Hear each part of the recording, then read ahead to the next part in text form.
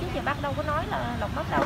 Thì muốn là để cho những cái người thương lộc á những người yêu quý lộc á là có cơ hội đến để thắp cho lộc nén nhang để bày tỏ cái tình cảm với lại lộc. Ngày xưa đến giờ là lộc là là cái người làm đẹp cho đời. Nên khi mà mất á, thì im lặng như vậy thì mọi người rất là cắn rứt ví dụ giống như chị chị đã chị chị đã khóc. Khi mà nghe chị chịu nổi là chị quỵ xuống chị khóc rất là nhiều và chị hoang mang lắm. Chị không biết chị không tin đó là sự thật.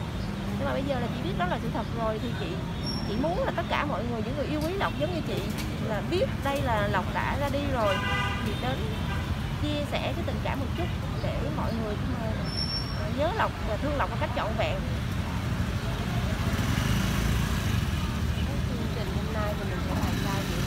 Hả?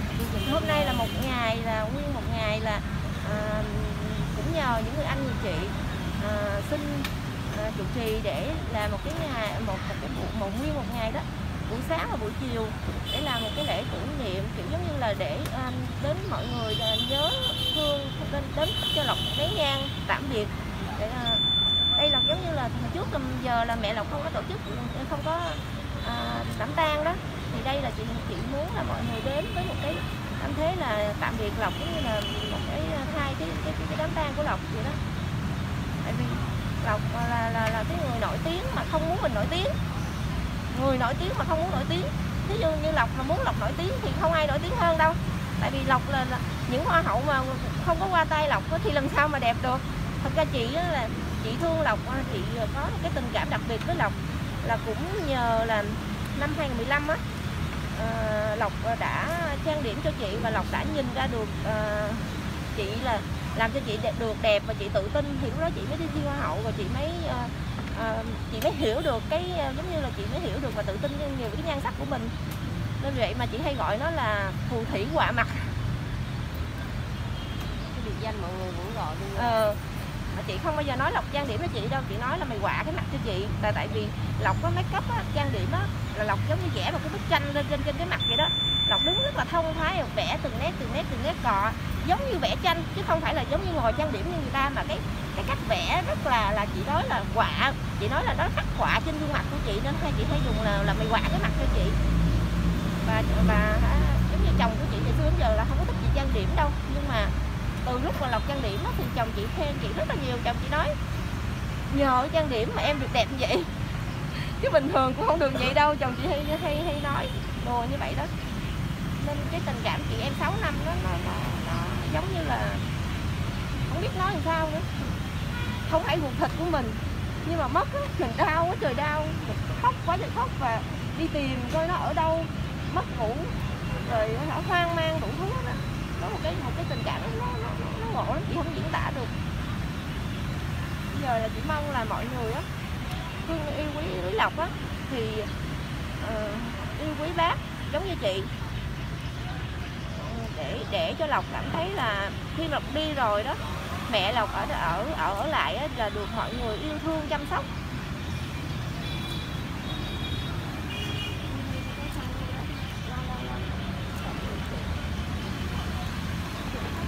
Hôm nay mới khóc được cái nghe em.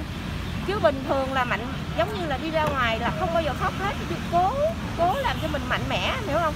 Lúc nào cũng khó chịu hay lúc nào cũng giống như là không con tôi không có mất đâu con tôi bị bệnh thôi. Giống như cố tạo cho mình một cái vỏ bọc bên ngoài thì chị với mấy mọi người khuyên là thôi cứ xõa đi chứ để vậy chị sợ tâm bệnh em hiểu không? Chị sợ tâm bệnh tại vì cái người mất không mà không được. Đau khổ tột cùng. Một uh, mất một cái một cái niềm quý giá một cái điều quý giá nhất trong cuộc đời của bác là lộc mà. 36 năm không có rời xa mẹ chỉ có những lúc đi công tác thôi đi làm thôi. Còn ở nhà không có rời xa mẹ lúc nào cũng bên cạnh mẹ rồi mẹ lúc nào cũng vậy ăn cái gì cũng phải mẹ mua. Xài cái gì cũng phải xin tiền xin mẹ. Mặc dù là cái người làm ra tiền nhưng mà rất là là là là là, là, là có hiếu như vậy đó. Nên đến là em lòng nó còn sống. Ừ. nó vẫn thường nói với bác. Con trang điểm cho khắp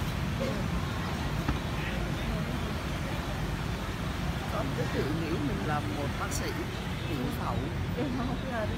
Khi mà ai có cặp chân mày bên cao bên thấp con sẽ chỉnh lại cho đều. Ai có cặp mắt bên to bên nhỏ con sẽ làm cho hai cặp mắt bằng nhau. Đúng rồi.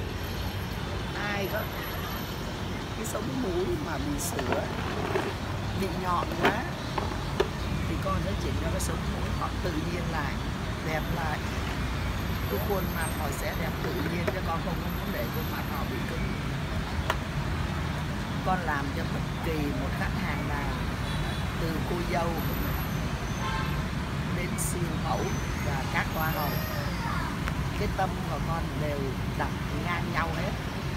Con không biệt con không bao giờ con phân biệt ai là hoa hậu nổi tiếng ai là cô dâu nhiều tiền và ai là những người yêu mến mình muốn lại trang điểm của mình, con đều làm như nhau hết. Con đều đặt cái tâm con làm. Sẵn đây bác cũng nói sơ qua về lộc. Lộc là một chuyên gia trang điểm nổi tiếng, nên trong tay lộc có rất nhiều hoa hậu rất nhiều siêu mẫu đẹp đến làng thì có một lần bác nghe một cuộc điện thoại gọi đến cho lộc.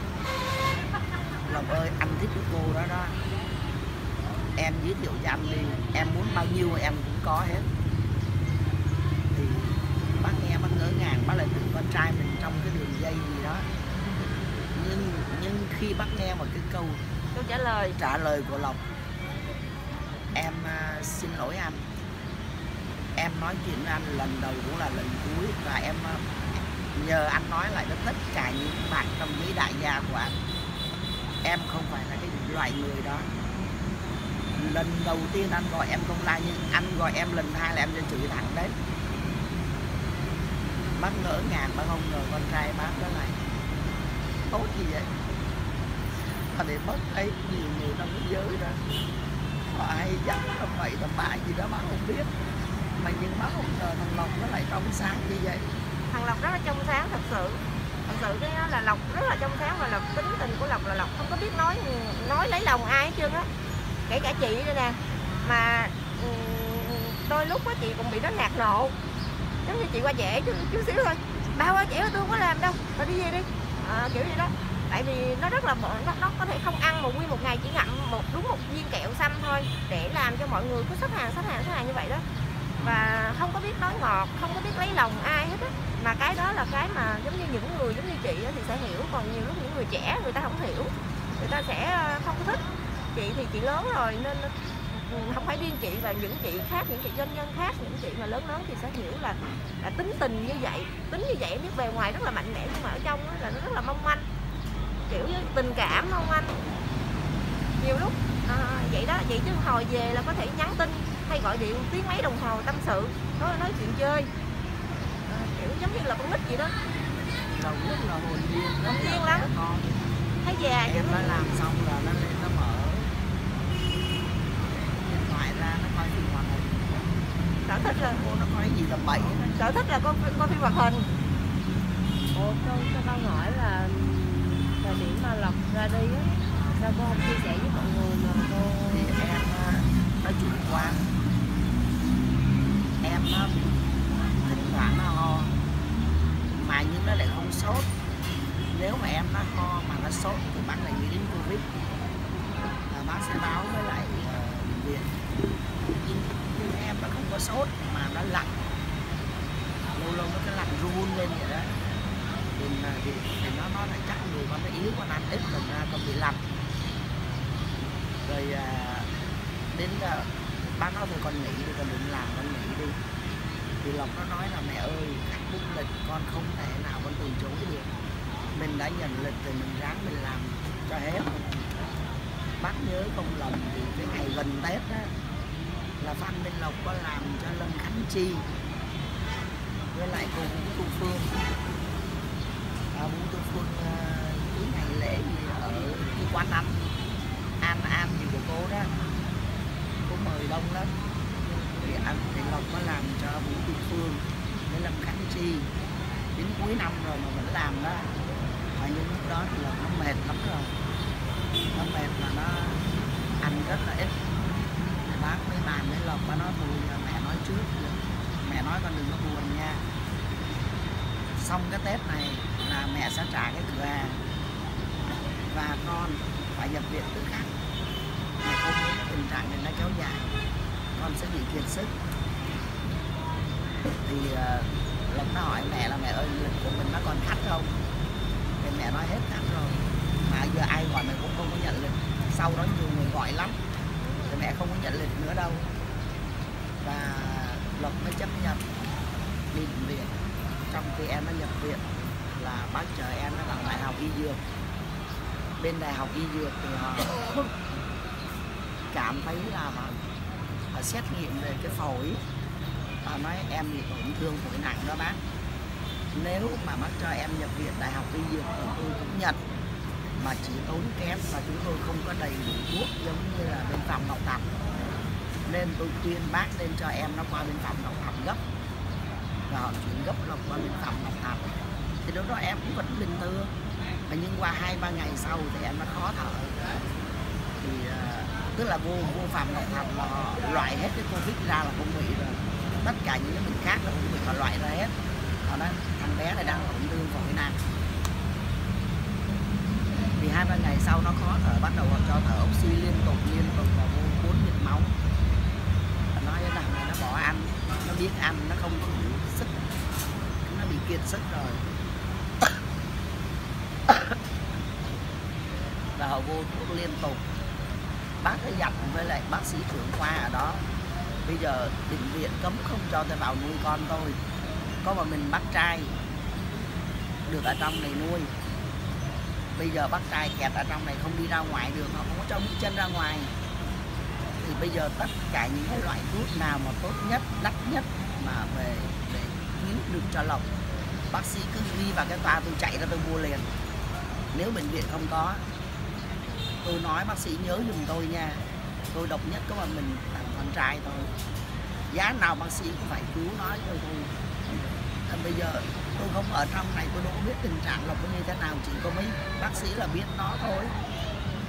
Nên tôi xin được cho một cái toa thuốc nào, những cái toa thuốc nào mà trong bệnh viện cần tôi có thể tôi chạy được ở ngoài hết.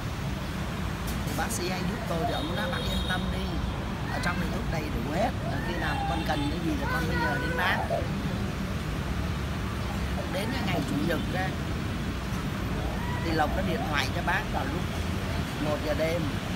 2 giờ đêm 3 giờ đêm 4 giờ sáng. Mẹ ơi, con nhớ nhà lắm. Mẹ cho con về nhà đi. Thì bác mới nói là lộc ơi, con cố gắng đi. Con cố gắng cho mẹ hai ba ngày nữa, mẹ sẽ soạn cho con cái phòng cho nó đàng hoàng rồi mẹ sẽ đưa con về. Thực tâm là ý của bác là thấy bệnh viện họ khắt khe cái chuyện là chăm sóc. Thì bác muốn cho lộc về nhà luôn bác sẽ mua lấy cái toa thuốc và mời bác sĩ về nhà chữa cho lộc ở nhà. Tất cả những cái gì là chữa ở nhà hết để mình còn chăm sóc cho lộc ăn uống con hiểu không? Bác nói với lộc con cố gắng cho mẹ hai ba ngày đi mẹ chuẩn bị cho con cái phòng. Thì lộc có nói mẹ ơi con không có cần phòng gì hết á. Con nhớ mẹ lắm con nhớ nhà lắm mẹ cho con về đi. Con về một ngày rồi con vô cũng được mà không ngờ 8 giờ sáng thứ hai em nó mất.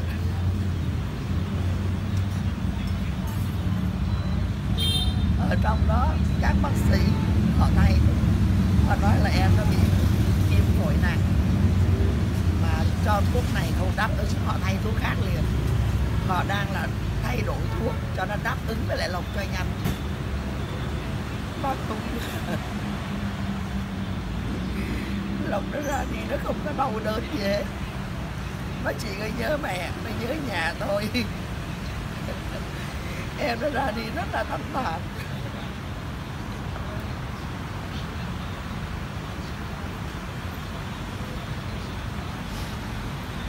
mẹ nhớ có lần, Lý Nhã Kỳ có tổ chức cái sự kiện. Bác nhớ là Lý Nhã Kỳ có tổ chức một sự kiện lúc đó vào khoảng là mời diễn viên ca sĩ rồi đông lắm. Lúc đó khoảng 8 giờ tối Lộc còn đang làm cho khách. Thì bác nghe cô Kỳ gọi Lộc, Lộc ơi em biết giờ này mấy giờ chưa mà giờ này em chưa qua. Thì Lộc nó nói em còn một người khách cuối cùng nữa em làm sao em chạy qua liền?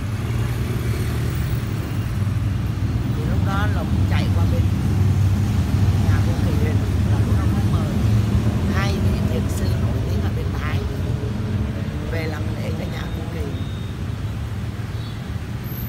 Hai vị thiền sư đó đang ngồi nói chuyện với cụ kỳ. Thì, thì diễn viên người mẫu rồi mời tới là mặc rất là đẹp rất là modern. Riêng lộc thì mặc có cái áo thun với quần jean thôi. Lộc chạy qua thì sau lộc cũng còn thêm mười mấy người nữa. Lộc vừa bước vô cái sảnh. Hai vị thiền sư đó đồng loạt nhìn nhìn lộc từ đầu đến chân. Cứ nhìn trân trân vậy nè. Lộc nó về nó kể cho bác. Nó mẹ ơi, con thấy hai vị nhìn con mà con muốn quỷ cái chân con luôn.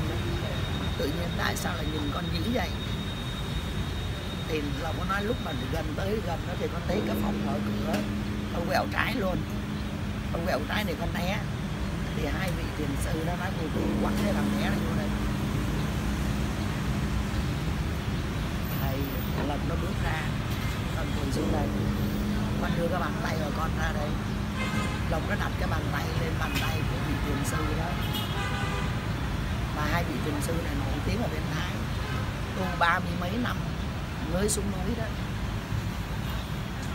Thằng Lộc nó nói tự nhiên con vừa đặt cái bàn tay lên cái dòng điện ở bên người thầy nó, nó dẫn qua bên con nó chạy rần rần rần rần rần rần. Từ đỉnh đầu xuống chân chạy hết. Người con nóng ran lên con quá sợ luôn. Thầy nhìn thẳng vào mặt con để hỏi con con có biết con là ai không? Lộc nó nhìn thầy nó thưa thầy con không biết à con chính là tiên đồng ở trên trời. Con phạm tội và con trốn xuống trần gian một ngày nào đó người ta tìm thấy được con. Chỉ qua một cơn bệnh nhẹ thôi là họ sẽ đưa con đi đó, đưa con về trời đó. Con nhớ nha, con nghe kỹ lời thầy không để cho mình bệnh. Hình như là những cái lời đó là con cô kỳ, cô lý nha kỳ, cô có nghe.